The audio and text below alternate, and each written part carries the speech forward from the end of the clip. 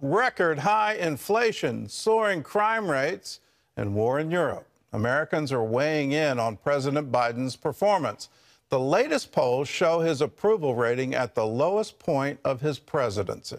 In one effort to stop the skid, the president unveiled his 2023 budget plan Monday. It highlights increased funding for the military and law enforcement while promising to cut inflation. CBN's Jenna Browder reports from Washington. The president's $5.8 trillion proposal looks to address some of the more pressing issues on voters' minds, especially in a midterm year in areas where Democrats could be on shaky ground.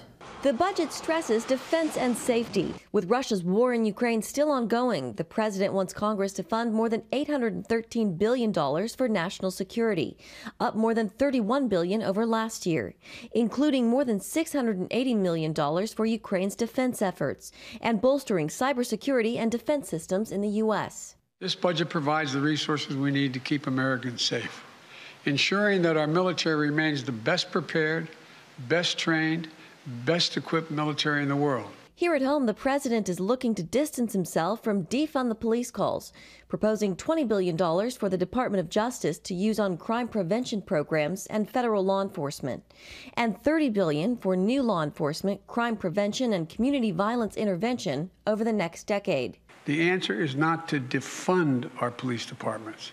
It's to fund our police and give them all the tools they need, training and foundation and partners and protectors our, that our communities need. The president is also proposing a so called billionaires tax, a 20% minimum tax rate for the wealthiest Americans to reduce the deficit.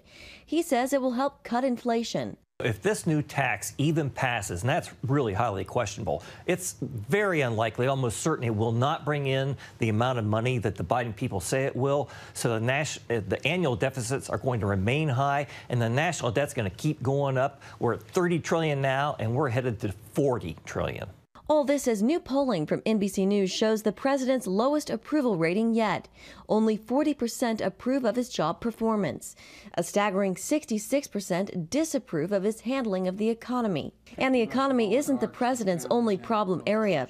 Seven out of 10 Americans say they have low confidence in his ability to handle the Russia Ukraine crisis. In his recent trip to Europe, the president's staff had to walk back several verbal gaffes suggesting to U.S. troops they were going to Ukraine, saying the U.S. would respond in kind to chemical attacks by Russia, and this ad lib about Russian President Vladimir Putin.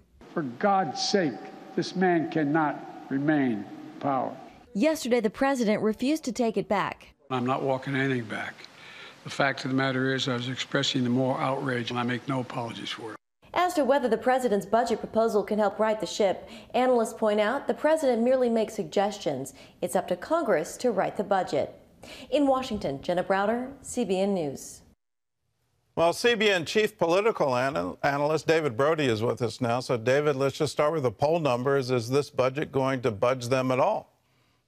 I don't think so, Gordon. I think that train has left the station. There's a narrative out there about Joe Biden, and it's not a good one, unfortunately, uh, for the president. Uh, look, but if you look at the, inside those numbers, I mean, he's down everywhere. I mean, he's not just down with independents from 36% to 32%. He's down with blacks, Hispanics, women. I mean, it, it runs the gamut. And so that's where you get to that 40% approval number, which is so uh, abysmally low uh, because he's not just losing Republicans. He lost them a long time ago. He's lost independents, and now he's starting to lose his own base. And I think that's part of the problem. And I think that's what we saw a bit in this budget, right? I mean, this idea of funding the police, uh, increasing the military uh, spending. You put it all together, he's trying to kind of recoup some of those independents. Uh, and, and that's kind of where he's going with this. Uh, but once again, a lot of damage has already been done. You kind of you, you kind of major your bet, if you will, with the progressives uh, in the party and try to be this next FDR in the first year of your term. It did not work well. You spent a lot of money. What is it, six, seven trillion dollars? I've lost count with the American Rescue Plan and and other uh, you know other, other bills that were passed. And so you put it all together, and now you're trying to put the genie back in the bottle. Very, very difficult. Well, uh, let's talk about the Democrat base and, and the progressives in particular uh, the call to defund the police, the, the call for um, all these, it, it just, it, from my point of view, it just boggles the mind. Why would you ever want to defund your police department? But uh, he's trying to get on the other side of that. Is, is he eroding his own base going into the midterms? Well, it's a great question, Gordon. I think that the, the, the calculation inside the White House is this uh, Do you get uh, in terms of the midterm elections, which, by the way, we expect a red wave, and, and, it might be just too late anyhow. But if you're going to have some sort of shot to salvage something in midterm elections, do you get the progressives on board or do you get the independents on board? And I think clearly, uh, you know, look, follow the money. And, and the money in the budget suggests that it's really going to be more about trying to get those independents back uh, rather than the progressives. Now, having said that, Gordon, let's also remember uh, beyond this idea that he wants to fund the police and that's not going over well with the progressives. He is trying to help the progressives. He's trying to kind of give them a, a few caveats here, and one of them is uh, climate funding. I mean, he he's uh, increased climate funding in this budget over last year by 16 billion dollars, and he wants to give 1.6 billion of that to United Nations Green New Deal Fund, whatever you, they want to call it over there at the United Nations. But $1.6 million of American taxpayer money would go to the United Nations as part of this. So, uh, look, it's not like it's all uh, wonderful for independence. He, he has some progressive nods and winks in the buzz, budget as well. Well, let's talk about the just sheer size of this budget. I mean, there are a lot of individual items that you can point to, but at the same time, it adds up to 5.6 trillion. And, uh, and he's calling it that somehow or other this is going to fight inflation. Do, do they really not understand the more government prints money, which is what is happening here, the more you expand the money supply, which is going to be needed. Uh, you can say it's paid for all you want, but all you're doing is borrowing from future generations of Americans. So, uh, mm-hmm. do they not get that this is inflationary? Well, it's, it's a great question, and honestly, not even rhetorical. I, I, mean, you have to really wonder do, do they not get it? You know, Larry Summers, the former Obama senior economic advisor, uh, you would think would be supportive of Biden policies. He's not. He said that American Rescue Plan uh, that was supposed to provide COVID relief, it only provided 5 to 10 percent of the money was COVID relief, uh, said it was a way, way much of a, of a bridge too far. And so, uh, look, you're talking 5, $6 trillion, uh, maybe even more, depending on real money, uh, and then you have to ask that question question. So, so I think there is clearly a problem. Also, there's a smoke and mirrors aspect to all of this. You know, this this idea that uh, you know that it's going to balance the budget. I mean, in what fantasy world is that happening in exactly? But this is what Congress does. It's not just you know Biden and his administration. Republicans will do it as well. They'll they'll somehow do fuzzy math and and try to do all of this to to come up with a figure. Uh, so no, no, clearly it's a problem, Gordon. And uh, look, here's the other problem with this budget. Uh, they are making these calculations and assumptions based on the fact that inflation will return to normal levels. Yeah, well, I, so apparently the budget is not just a policy document, but it's a comedy material as well, because I don't think anybody thinks inflation is going to return to normal levels anytime in the next six months or so. Well, let's talk about something that uh, is is even more serious than the current inflationary environment. His statements on that European tour if, if I'm in charge of Russian military forces, uh, I absolutely get the message uh, that there, there's not going to be any peace agreement we can come to. What, what are they trying to do in terms of walking it back? And then in turn, he comes around and says, I'm not walking anything back. Uh, is, is this going to eventually get us into a war in Europe? Well, that, that's the concern, and I think it's it's a real it's a real concern. You know, like the last thing we need right now is hyperbole and dramatic statements. Uh, but look, this is straight up analysis. Yes, I mean th th this is the type of rhetoric. Uh, call it a bungle, a gaffe, call it uh, serious or not. They can land us right into a World War III. And look, I mean, what Biden did there is gave Putin a talking point. You know, forget about what Germany and NATO and others think at this point. It's what, what does Putin think? I mean, Putin's going to pipe that into Soviet uh, media, if you will, and say, you see, I told you so. Uh, the, the president of the United States is, is in essence for a coup against me and our government. I mean, that, that's what he's going to say. And so uh, here, here's the problem for the Biden administration. Was it a walk back or not? At first, there, it was the sense that there was it was a walk back. They were trying to walk it back. And then Biden, as we just saw in Jenna's piece, said he's not walking anything back. So there are so many mixed messages here. And this is the last, uh, last thing anyone needs is any mixed messages here. Clarity is key, and we're not getting much of it. All right. Well, David, thanks for the insight. And uh, for anyone watching, please pray for our president. Please pray for our leadership. I know it's sometimes difficult to pray for those who are in power, but he needs unusual wisdom. These are very difficult times we're all facing. Uh, and you may not agree with his policies. I certainly don't. Uh, but that still doesn't mean I don't have a requirement as a Christian to pray for those in leadership. Well, let's turn to other news. More fallout from the Oscars, the, the whole alopecia um, with, with Jada Pinkett Smith. I just want to say my, my mother has lived with that disease for a quarter of a century. And I understand what it does. And I understand what it does to your willingness to even go out in public and, and be seen. Um, and I just applaud her for the dignity to say, I'm going to go to the Oscar ceremony. I'm going to have my disease broadcast around the world. Uh, the problem with it is there's no cure. Uh, there's, there's no um, uh, medical science doesn't even know the, the, the source and why it happens. So uh, I, I applaud her for her dignity in just saying, I'm going to show up and I'm going to learn to live with this disease. That's what my mother has done now for a quarter of a century. I know the cost it takes, and I applaud her for it. For more on the story, we go to Efrem Graham with the CBN Newsroom. Efrem?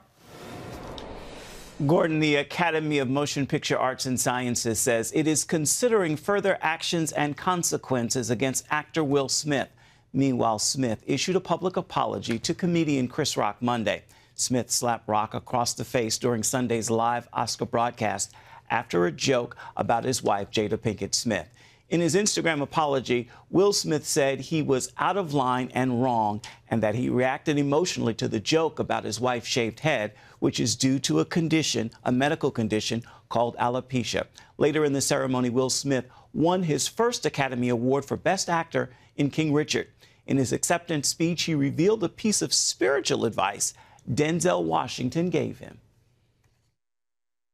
Denzel said to me a few minutes ago, he said, At your highest moment, be careful. That's when the devil comes for you. Academy officials reportedly considered removing Smith from the theater after the incident. It is unclear if Chris Rock knew about Jada Pinkett Smith's medical condition. Turning now to the war in Eastern Europe, Ukrainian and Russian officials met for peace talks for the first time in weeks, beginning today in Istanbul, Turkey. Ukraine's president said his country is prepared to declare its neutrality and not to join NATO, and is open to compromise over the contested Donbas region in the east. The talks come as Russian forces are still bombarding cities and villages in Ukraine, leaving buildings and streets in ruins. Ukrainian forces are claiming new victories, including the city of Irpin, just north of Kiev. Millions of Ukrainians are displaced from their homes and suffering shortages of food and water. CBN's Operation Blessing is helping meet their needs by sending fresh produce across the border from its warehouse in Poland. We are here at our Operation Blessing warehouse in Poland, not far from the Ukrainian border, from where we receive lots of shipments of produce that go straight into Ukraine. And behind me, you see a truck being loaded with fresh produce like these oranges and apples and mandarins and wonderful, nutritious food that will really help the people in Ukraine right now because there's such a shortage and such a demand. And these items will go across the border straight away. So in a few hours, they will be offloaded onto vans that will go straight into the, the communities in Ukraine where people will be uh, using those very fresh produce to feed their families and feed their children. And it's all possible because of your support. So thank you very much for your generous giving. There you see Operation Blessing in perfect position to offer assistance. Gordon? It's wonderful to be a help to those in need, and it's wonderful to have so many people supporting the effort. Thank you. If you're part of the Operation Blessing Disaster Relief Fund, thank you. On behalf of all the refugees, all the Orphans Promise Centers in Ukraine, the surrounding countries, uh, thank you. You're, you're doing your part. If, if you want to be a part of it, all you have to do is pick up the phone and call us 1 800 700 7000. Just say, I want to give to the Operation Blessing Disaster Relief Fund. You can also write to us at CBN Center, Virginia Beach, Virginia. Just put Disaster Relief Fund in the memo line of a check. You can text us, OB Crisis, to 71777, or you can just go online at cbn.com. There's a place where you can designate your gift to the Disaster Relief Fund. Do it now. Be part of helping those in need. As a candidate for the U.S. Senate from Pennsylvania, Kathy Barnette knows the value of separating herself from the pack. Her life story, however, is a much more than a campaign narrative. Conceived in rape, raised in poverty, she's a testimony that God has a plan for every life. A message she's dedicated to spreading on the campaign trail. CBN's David Brody introduces us to this unique candidate. When voters in Pennsylvania meet Kathy Barnette, they see smiles and hear a straightforward message. Everything is on fire. Our nation is in a nosedive. Behind the rhetoric is a deeper story. I grew up in a home with no insulation, no running water, an outhouse in the back, and a well on the side. While a childhood of poverty is tough enough, Barnette's entry into the world could be considered a miracle. I am the byproduct of a rape. My mother was 11 years old when I was conceived. My father was 21. And I am so grateful to God that there were adults in the room. I'm so grateful to God that there were, you know, people who came alongside my very young mother when she was in a very broken place. And there I was in her womb. I had, I took no part in how I was conceived. And yet mm-hmm. there I was. Saw me as someone with value. I'm so grateful. How simple.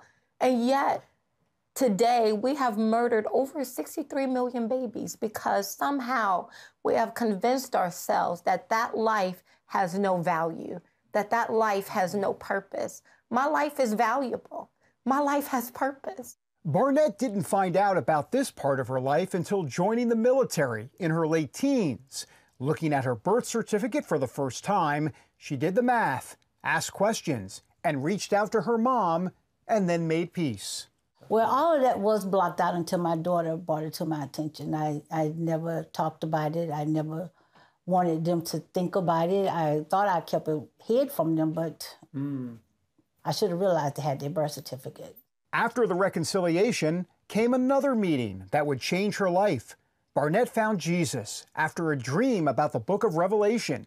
She heard an audible voice saying, Go back home, and recalls telling God something specific on the way. I mean, if you are real, and if you can really save my life, and I won't be a hypocrite like some that I've seen growing up as a child, then I want you. And I believe it was during that time from on that train ride from California to Alabama that I gave my life to the Lord. It all started to make sense for her. And I can see how at the age of 19, how he grabbed my hand and he began to show me my purpose and how everything about me is by design. You know, the Word of God says that it is Him who who decides the day and the the time and the place where we will be born.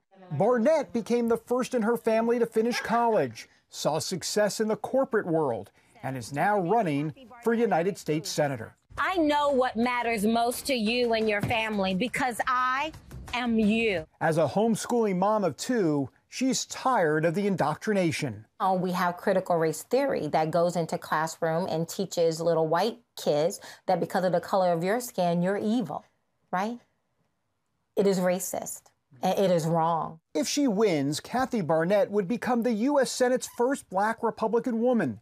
She makes a habit of calling out Democrats for using black voters to their advantage. What exactly have we gotten for our loyalty? Right? We know what Democrats get. They cannot secure the White House without getting 92 to 95% of the black vote. So they get the White House. But what exactly have we gotten? The May primary is hotly contested in a state that could determine which party controls the Senate. It's a crowded GOP field. David McCormick has many high profile endorsements and he leads the field. Former talk show host Dr. Oz is in the race and has name recognition. While Barnette polls in the single digits, she's gaining a strong grassroots following. She points out that neither opponent is from Pennsylvania. Barnette, who's lived there for almost a decade, wants to make sure voters get that message. These carpetbaggers have been spending buku's millions. Within the first two weeks of February, Oz had already spent $7 million. Just the first two weeks. Who does that? She pitches herself as a citizen legislator, such as the founders intended. Our nation is in need of good people to get engaged. Our nation is in need of those who will take a long term custodial view of our country. Our country does not have long term custodians. How do you define success? What are you trying to accomplish as you as you win here? Because God can God's a God of miracles. He can take you all the way to the U.S. Senate, and He can do something else with your life. I want to um, finish this race and hear the Lord say, Well done. My good and faithful servant, you ran your race that was in front of you. God bless America! She wants an America that gives others the opportunities that she got. Her supporters are praying for her to do just that here in Pennsylvania. We give you glory and honor and praise, and we thank you once again for Kathy and this commitment that she's made. In Jesus' name, amen. amen. David Brody, CBN News, in Mechanicsburg, Pennsylvania. Well, that's not a story you're going to see in many news outlets, but that is a life that preaches. That is a life well lived. If you want to find that same life, the same thing that Kathy found, pray that same prayer. Jesus, if you're real, if you really can be my Savior, if you can enable me to live a life for you, I don't want to be a hypocrite. I want to live for you. Can you do that for me? What a wonderful prayer. What a wonderful life. What a wonderful answer to prayer. Uh, if you need help with this prayer, all you got to do is call us 1 800 700 7000. Ashley? The little girl was just two and a half years old. She had HIV, cholera, and tuberculosis. Her mother had already died of AIDS, and doctors said she wasn't going to make it either. To many, this child was a hopeless case, but to Lisa Harper, she was the answer to 30 years of prayers. Lisa Harper is an author and speaker who has served in ministry for over 30 years. While her resume is impressive, Lisa will tell you that her greatest achievements are serving God and becoming the mother of Missy, who she adopted from Haiti. In her new podcast, Back Porch Theology, Lisa uses humor and a down to earth approach to tackle some of life's most important issues. All right. Well, joining us now via Skype is the amazing Lisa Harper. Lisa, thank you so much for being with us today. Oh, I'm so tickled to get to see you again. Your face makes me happy. Oh my gosh, your face makes me happy. You you just your smile brightens up my day. All right, well first, let's talk about your new podcast. The name of the podcast is Back Porch Theology. Why not front porch theology, the living room theology, the coffee shop theology? Uh, tell us more about the name. Great question. Um, uh, yeah, I live in the American South, and the front porch. A lot of people have front porches, and front porches are great. You get to wave to your neighbors. And you can have sweet tea on the front porch, but everybody can see it, so they tend to be kind of Pinterest perfect. But the back porch, that's where you actually, you know, you can be a little louder, a little messier. The conversations are a little longer. And I wanted to, as best we could, demystify the idea that theology is this boring, dusty, esoteric subject matter.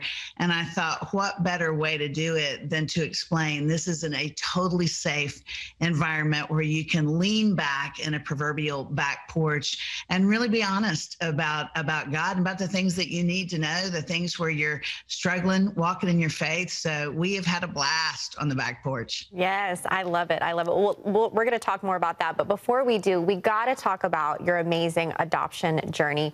You started the adoption process uh, when you turned 40 and then stopped. Uh, you actually stopped for seven years. Why was that?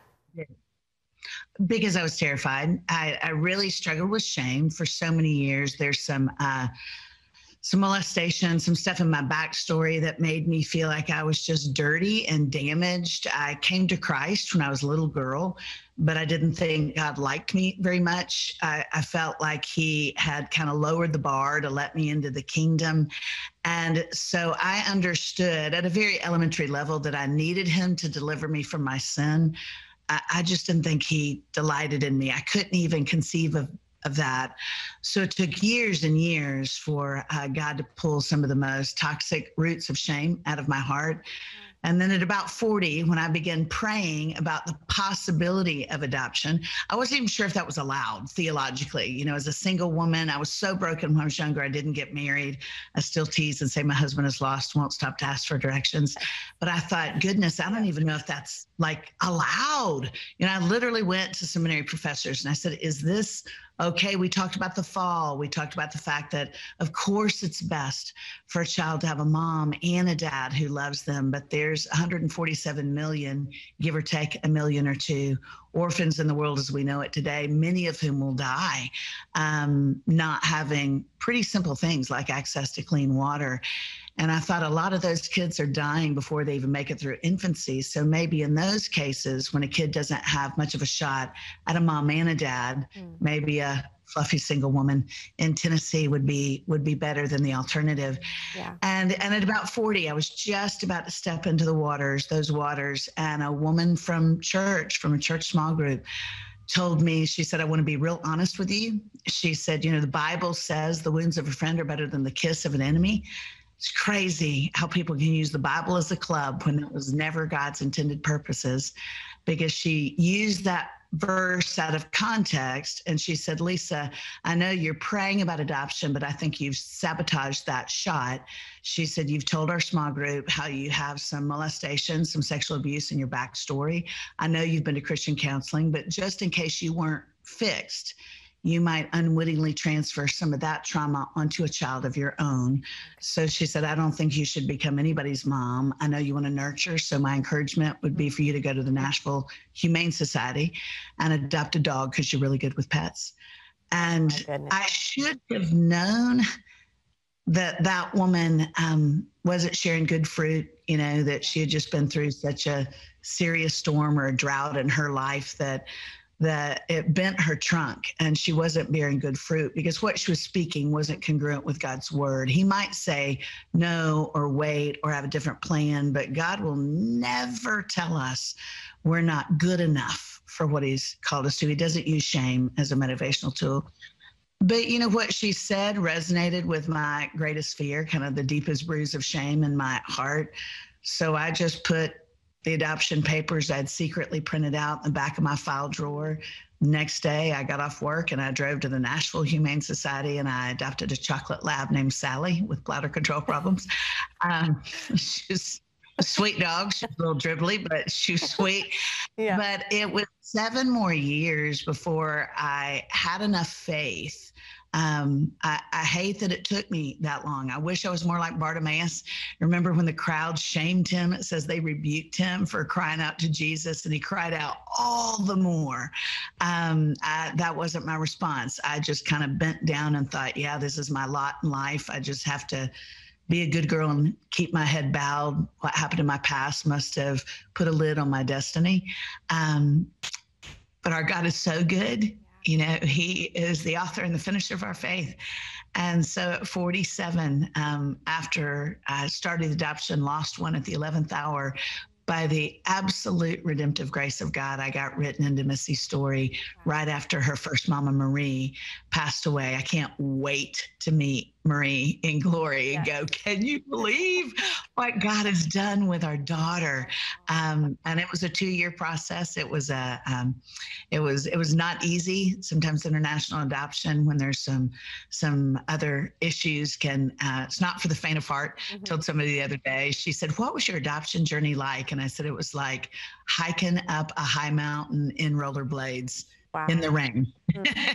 it was it was slippery. It was tough, but man, the last, I've had her home for seven and a half years now, and it has been just glorious. Yeah. Um, it's unbelievable. Yeah, I mean, just looking at those images that popped up on the screen, I mean, she literally is a ray of sunshine. And I had the honor and the privilege of meeting her a few years ago when you were here on the 700 Club. Oh, and both of you both of you guys together, it's just, it just makes sense. And both of you guys are just shining the light of Christ. So I just, I'm so grateful for the Lord to, for putting you both together. Lisa, I wish, I wish we had more time. We could just keep talking for hours, but we got to cut it short. New episodes of Back Porch Theology drop every single week. Be sure to subscribe on your favorite podcast provider to catch up on past episodes and listen to new ones as they're released. Lisa, thank you so much for being with us today.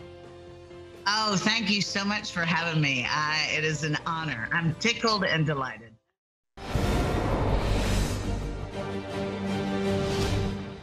And welcome back to the 700 Club for this CBN News Break. We begin in Florida, where Governor Ron DeSantis signed a bill into law that stirred national debate. It forbids public schools to teach sexual orientation and gender identity to students K through 3.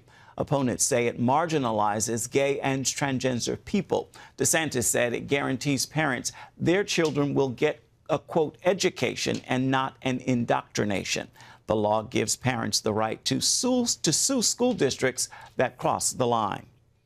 Protesters in Germany are helping the children of Ukraine while honoring the victims of the conflict. They laid teddy bears in front of a cathedral in Cologne, Germany over the weekend honoring the children who've been killed since the war began. People also held signs saying Putin kills children and stop war now. Then, after the special event, the toys were given to some of the children who have been forced to flee Ukraine. Want to remind you, you can always get the latest from CBN News by going to our website. It's cbnnews.com. Devin Tucker was trapped. His captors held a gun to his head, and they forced him to have sex with strangers. Devin was trafficked across 11 states. He thought there was no way out. Then one day, he knocked on a stranger's door. I got held at gunpoint, and they told me that there is no escaping, there is no leaving, there is no, no telling. Devin Tucker spent most of his life trapped in circumstances beyond his control. It started with childhood neglect by his parents that shaped his view of himself and the world. I felt empty, like just like nobody cared. Eventually, it got to the point where I thought, well, maybe this is the norm just for my life. Maybe this is how it's supposed to be. The only time he felt loved was when he was with his grandmother, who brought him to church and taught him to pray. When nobody else was around, I could rely on grandma, and I was expecting her to be there forever. Things got got dark things got things went south and she passed away. By the time he was in middle school, he'd run away from home and traded arguments with his mom for chaos on the streets of Detroit. In the years that followed, Devin made thousands of dollars selling drugs. Still, he remained trapped in fear. I felt like there was no security. I was always worrying, always stressed out about who's after me. Even my best friends, are they after me? You know, it's not just the police, it's the ones that are close to you. His fears became reality when police raided his house. They seized drugs and $200,000 in cash. Devin was facing 15 to 25 years in prison. As he sat in jail waiting for trial, he remembered what his grandmother taught him about prayer. So I prayed in jail and I said, um, God, I don't know if you're real or not, but if you are, if you let me go, I, will stop selling drugs. I'll quit. Went to court, had my hearing, and I was free. Devin was released on a technicality and never sold drugs again. Needing income, he joined a company that takes young people state to state selling magazines. He soon found out it was a front for a sex trafficking ring. I was stuck. There, there's no getting out. I was held at gunpoint, and I've watched people get beaten, left almost for dead. Where am I gonna go if I'm being followed in every room? Where am I gonna go if there's a van following me in every neighborhood? Who am I gonna call? I don't have a cell phone. You get desperate for freedom, but then you also give up. It's like, why, why try? Why bother when all angles have been blocked off. For the next year and a half, Devin was forced to have sex with strangers. Trafficked through 11 states and desperate for freedom, he spent three days praying for rescue. Then the next day, while selling magazines, he knocked on the door of a family involved with Florida Abolitionists, a group dedicated to freeing people from sex slavery. They sensed he was in danger and offered him help. He says, Do you want out? The way he looked at me, the way he said it, I had an understanding. You want to help me leave my situation. The family was able to rescue Devin from his captors and gave him new hope. He said something that triggered. He said, For God so loved the world, John 3.16, that he gave his only begotten son. Then he quoted it different. He said, For God so loved Devin that he gave his only begotten son. And it, it hit me personally in a way. And I thought about the times I've been shot, stabbed, locked up, the times that I went through, like throughout just my whole life from elementary all the way up until, you know, now, like, you did this because you loved me. This was more than, this was not just saving me from hell. You, you, you love me. And that reality is what, yes, Lord, I accept you as my Lord and Savior. Thank you for, for, for what you, you did for me. That day, Devin was rescued physically and spiritually. When he surrendered his life to Christ, he was finally set free. Everything that I never had, he completely did the opposite and turned it around and gave it to me. Complete restoration. It had to start out with God's grace, and that's what I'm thankful for. Just the blessings that come with it. Um, and I mean blessings in the sense of just being able to wake up and feel the freedom. God has given me a family. I just thank God for every every ounce of it, you know, every every drop. He shares his story, hoping others who are being trafficked will find help as they cry out to God for freedom. God hears you. Every prayer, every thought, and there is hope. And if He can set me free, then He can help you get free. And He can help you get free. I don't care what you're going through, what you've done, what you've done to other people, what other people have done to you. In God's eyes, you are still His child. You can't ever change that. There's nothing you can do that can ever separate you from the love of Christ. Isn't that a wonderful news? It's the best news that anyone has ever heard. All you have to do to receive it, to receive the free gift that He gives, for God so loved you, you can fill in your name. Devin filled in his name. Gordon filled in his name. You can be a whosoever. For God so loved the world, that's you, that He gave. He gave Jesus. That whosoever, I can be a whosoever, you can be a whosoever, would believe on him would not perish, but have everlasting life. He loves you so much. He wants you to be with him in eternity. He loves you that much that he was willing to die for you. This saying is worthy of all acceptance. Jesus Christ came to save sinners, of whom I am chief. These are the words of the Apostle Paul. He knows a thing or two about sin, he knows a thing or two about salvation.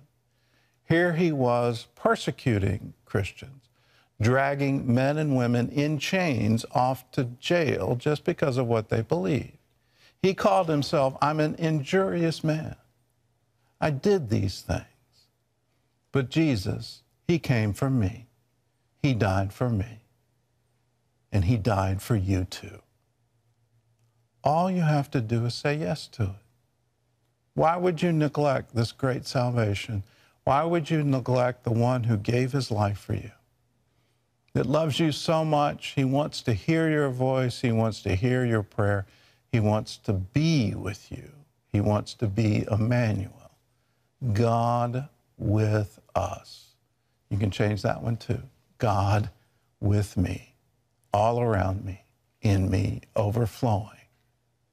If you want this, let's pray a very simple prayer, and Jesus will answer. What he did for Devin, what he did for me, he will do for you. All you have to do is ask. Let's pray. Jesus, say his name, say it out loud.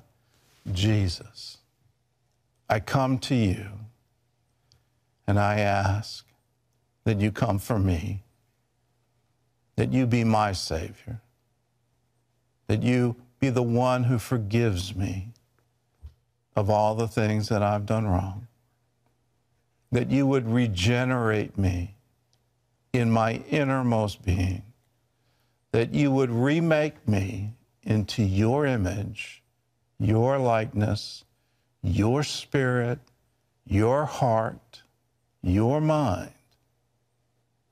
And Jesus, if you do this, I want to follow you all the days of my life. Hear my prayer, for I pray it in Jesus' name.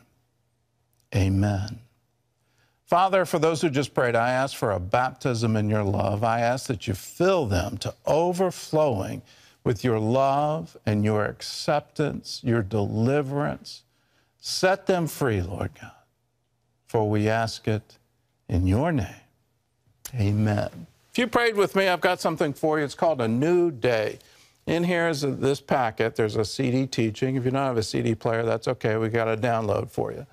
But I want you to have it. It, it t- tells you how do you know you've been forgiven? How do you know you've been set free? What do Christians believe? How do you live the Christian life?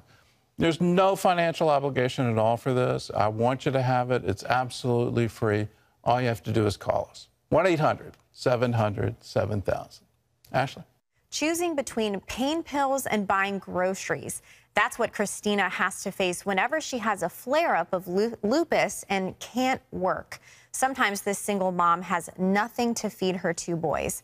That's when Christina says she feels as if she's drowning and taking her children along with her. Christina and her boys have been through a lot of challenges, but their love for one another sustained them. My family is everything to me. They keep me going, they keep me strong. They are the reason why I wake up every day and work and do the best I can. Christina suffers from lupus and has gone through many seasons where she wasn't able to work. There's several times in my life that I have had flares where I have been bedridden. No matter how hard it was, I always moved forward. I always kept on trying to work. It makes it hard to keep a steady job. Choosing between paying bills and groceries, there's times that you don't know what you're going to do. You don't know how to face your children and when it's dinner time or they're hungry and you really don't have anything and almost feels like you're drowning and you're taking your children with you. Her church, Open Door in Burleson, Texas, has partnered with Operation Blessing for 30 years. When she found out she could turn to them for help, everything changed. If you had a need and if you were hurting and you were broken, they were there to bless you. And when I leave, I always feel empowered and I feel refreshed and I feel like I'm not alone. The food that you receive, the quality is great. The kids get excited. I get excited because it's like, oh, what do we get to make? What do we get to have? You know, and you don't have to make that choice to pay a bill or to get food. And you feel good as a parent being able to put that on the table for your kids. Now Christina is in the process of starting a home-based business. She says she'll always be grateful for Operation Blessing partners who gave when she needed it most. Thank you. The food from Operation Blessing has helped me get back on my feet, and not just by providing food, but providing a good example for me and my children. When I do have, when you give something, you don't have to think about it, just give it. The partners of Operation Blessing, they have just totally changed my life and my children's lives. Wow. Well, if you are a CBN partner, thank you. Thank you for coming alongside of us and partnering with us to change the lives of families like you just saw, not only right here in uh, the U.S., but also internationally. We are providing food, clean water, um, necessary surgeries, simple surgeries that a lot of people can't afford in foreign countries. So you're doing that all in the name of Jesus, and you're spreading the gospel of Jesus Christ as you are helping people around the world. So if you're not a CBN partner and you feel encouraged by that story to give, I encourage you to join with CBN today. It's really simple. All you have to do is give us a call at 1 800 700 7000 or you can also go to CBN.com, or you can do my personal favorite, text CBN to 71777. When you do a little giving page like you see on your screen, it's going to pop up, and there you have the different options, the different levels you can join at. You can join at 700 Club, which is $20 a month. You can go up from there, 700 Club Gold, whatever the Lord is putting on your heart, just be obedient to that. And again, if you want to join with us and you want to change the lives around the world, just give us a call or text us. All right. Well, you got we got time for email? All right, let's All right, do it. let's go for it. All right, so this is uh, Sherry. She says, I wanted to ask you if God will forgive you if you have done some really bad things while being a Christian. I became a Christian when I was a really little girl, but messed things up during my life. Now I am old, and I'm afraid I will not go to heaven because of what I have done. Uh, Sherry, absolutely, God will forgive you. Absolutely, He will restore you. He'll make you new again. Here's a Bible verse for you. You can go read it yourself because it's in your Bible too. If we confess our sins, He is faithful and just to forgive us and to cleanse us from all unrighteousness. So, whatever it is you've done, I mean, you can make a long list. I, I remember when I came back to the Lord, I had to make a, I had to spend months. and I kept, you know, things kept coming back, and it's like, okay, I got to make another list. Yeah, and just put it before the Lord and and and and say, okay. Uh, then I had my dear father, who loves me a great deal, came, and he he said, Gordon, stop this. Um, you, you know, here. Here's a great prayer. The, the sins you know and remember, and the sins that are unknown and unremembered. Get forgiveness for all of it. Christianity is a great salvation, and we get to start over. The story of the prodigal son was, was written for me, and it can be written for you. You can be that prodigal child who comes home. You've gone, you've spent your inheritance on things of the world, and he'll, he'll receive you with open arms. He'll put a turban on your head, which is a symbol of salvation. He'll put a ring on your finger, which means you're part of the family again. You're part of that royal priesthood. Take full advantage of it. It's not an excuse to sin, but it sure is a license to be forgiven. Here's a word from Proverbs The name of the Lord is a strong tower. The righteous run to it and are safe. God bless you. We'll see you again tomorrow.